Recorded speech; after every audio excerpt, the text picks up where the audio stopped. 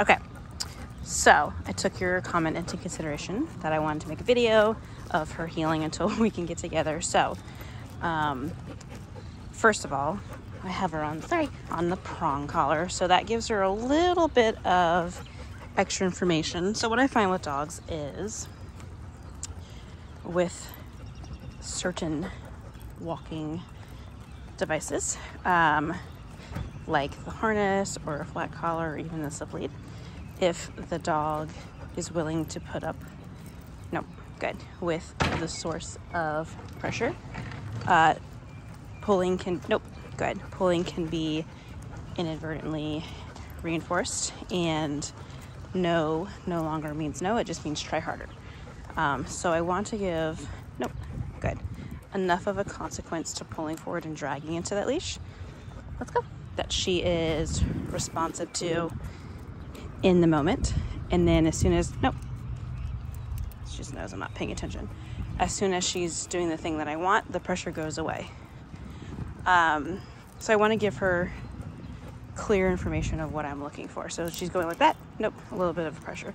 And it's not anything super intense. She's just putting pressure on the leash and I'm keeping my hand tight so that she can't, or like pulling my hand back to me so that she can't go over there. Um, for dogs that are good, used to stopping and sniffing and doing all of that lolly lollygagging kind of things, um, what we're doing inadvertently is rewarding them. Nope, let's go for blowing us off, checking out, doing their own thing.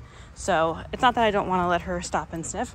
I just want to do it at a time where it is constructive. So, Bailey, sit. Nope, good. Good girl. Okay. Like right now, I'll let her go sniff. She can do her thing real quick. Um, I'm to let her have a moment of freedom. And then I'll bring her back into her heel. What? So if she, like we just came over to this area and she obviously wants to like romp around and play in the grass and things like that. So what I'm gonna do is some direction changes. Let's go. So that I can, good, get her in the mode where she's following me. So like the beginning of this video, she was super excited and wanting to do her own thing. So I'm just gonna kind of check back in with her. It's not a correction, I'm just quickly turning and going the other direction. Another thing you can do is turn and walk into her space, just getting her comfortable with yielding to, to my spatial pressure and moving out of my way. Um, I don't want her up ahead. If she's up there, then she can't see when I'm changing directions. Like right now, she's leaving me, I'm turning, and she's basically self-correcting. What I'm looking for is when I turn and she turns with me without needing any leash guidance. And I'm gonna give her a chance to be successful with that. So almost there. I don't need her staring at me.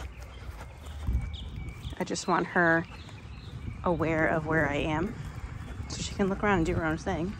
I don't need her like an attention heel. Let's go. Nope. But when I change directions, I want her to just change the direction with me. Good girl. It's like right here, she started to check out. Good. And I'll pay her for that. Good girl.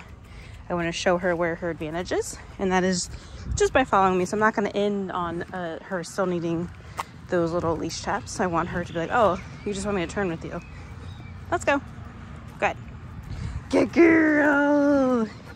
And again, like this, like it's, I want to walk into her because I want her being aware of me so that she can move out of my way. Nope, let's go. It's spring and all of the flowers are blooming. So many smells. Good.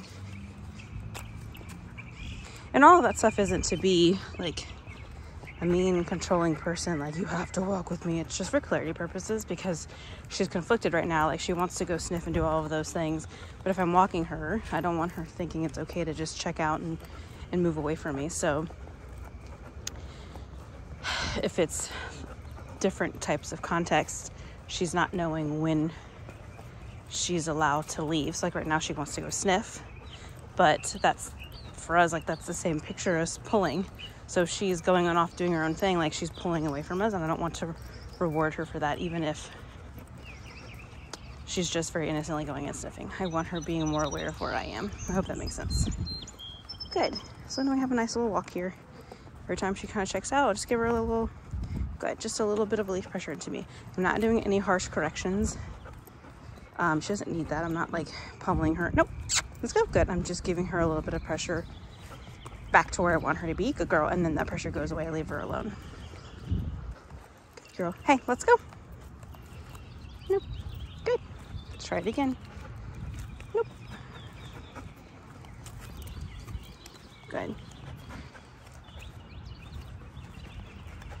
I'm just a big silly puppy. Good girl. Yeah, take it. There it is. Oh my goodness. Okay, I hope that makes sense. She's a good girl. I could definitely tell she had some time off and went back to some previous behaviors, which is fine because she's a baby and everything that you're doing with the dog, not you, just you in general, is a learning opportunity. So if they are reinforcing themselves into behaviors that you don't want, those are going to be something that continuously happens because they know that they are allowed to and it's something that they like to do. So no has to mean no, do it has to mean do it. And anytime there's a possibility, they're going to possibly do it. So she sometimes, oh, I want to go stop and sniff this, then sometimes she's just going to do that, even if you don't want her to. So you have to make that not an option. Be strict with it make it to where when you want her to go sniff and do something, it's a reward event that you are giving her. So again, it's a constructive thing, not to be like a mean, mean dog mom. It's just, hey, this is what the picture of walking with me looks like. It's good girl. It's walking nicely with me and not checking out and dragging. And when we find a good sniff spot, you can have that opportunity to do that, but it's not just whenever you feel like doing it. All right, good girl.